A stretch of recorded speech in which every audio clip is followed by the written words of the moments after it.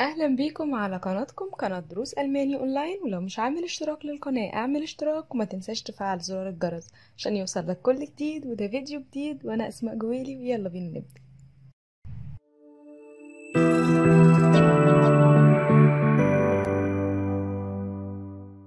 النهاردة هتكلم عن كلمة مش مشهورة قوي لكن معناها مهم جدا. وسهل جدا. النهاردة هنتكلم عن كلمة schieflaufen schieflaufen الأول الكلمة دي مكونة من مقطعين schief و laufen. schief معناها حاجة ملتوية وحاجة مع يعني منحرفة شوية أو حاجة مايلة. و laufen طبعا معناها يسير ويمشي وهكذا.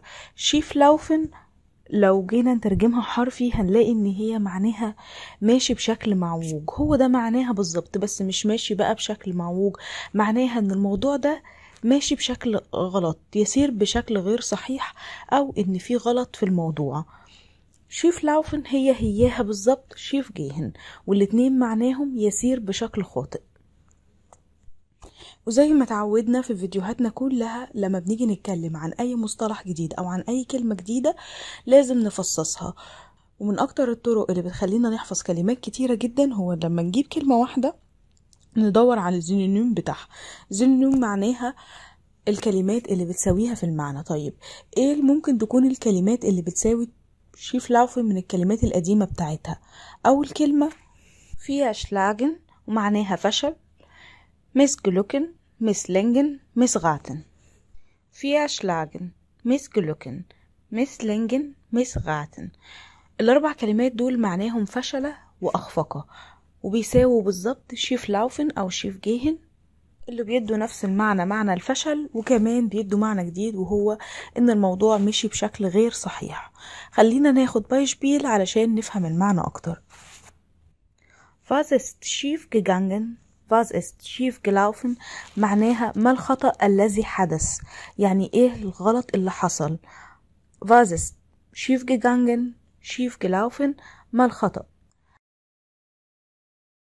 alles ist schief gegangen alles ist schief gegangen معناها كل حاجة مشيت غلط كل شيء صار بشكل خاطئ alles ist schief gegangen كل شيء صار بشكل خاطئ بتساوي برضو بالظبط. ist schief gelaufen يعني كل حاجة مشيت غلط أو حدث خطأ في كل شيء أو كل شيء صار بشكل غير صحيح. alles ist schief gelaufen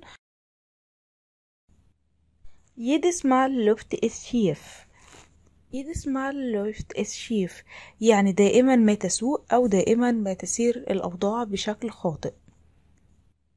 jedes Mal läuft es Doch nun liefen einige Dinge schief. لكن الآن صارت بعض الأشياء بشكل خاطئ. Doch nun liefen einige Dinge schief. Das Experiment ist schief gegangen. Das Experiment ist schief gegangen يعني التجربة مشيت بشكل خاطئ وكمان ممكن نترجمها إن حدث خطأ خلال التجربة وممكن تترجم بالمعنى ال...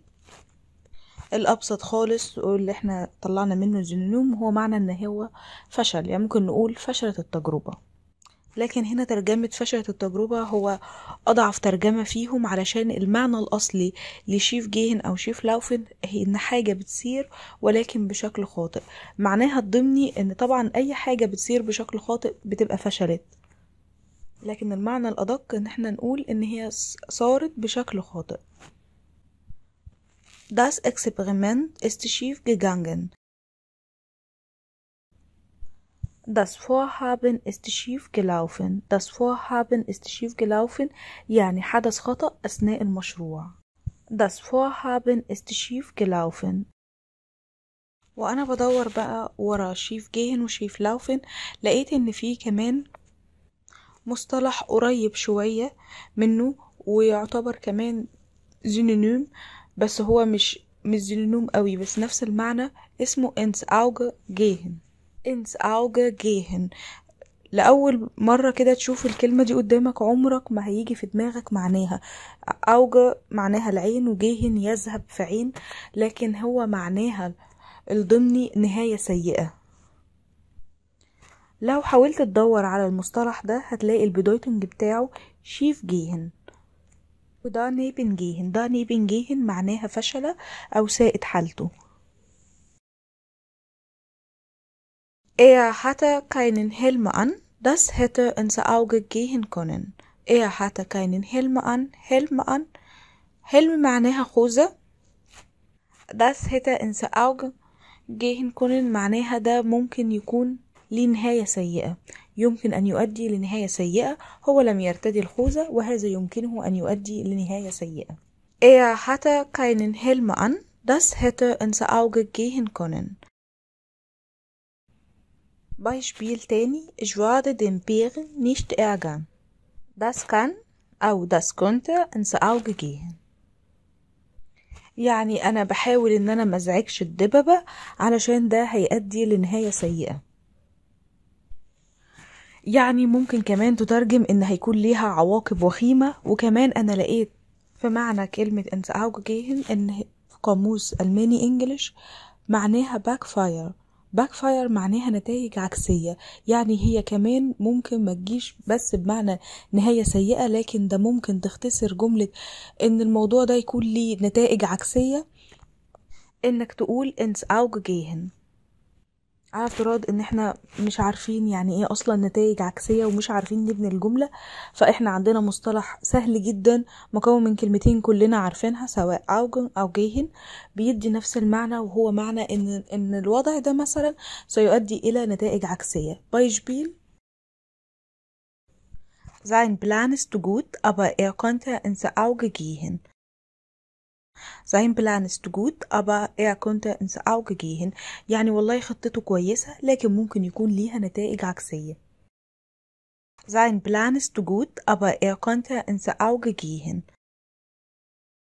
بس كده وكده نكون وصلنا لنهاية الفيديو بتاعنا ويا ريت تسيبولنا رأيكم في الكومنتات وما تنسوش تدعمونا ب like و share ويا ريت تحاولوا تطبقوا المعلومات اللي خدناها مع بعض النهارده وتحاولوا تبنوا كده جمل من خيالكم على كلمة نهاية سيئة أو نتائج عكسية أو حتى جمل بسيطة معناها إن الأمر صار بشكل عكسي أو بشكل غير صحيح. وتسيبوها لنا في تعليقات الفيديو وإحنا نراجعها معاكم. شكرا ليكم وأشوفكم في فيديو جديد.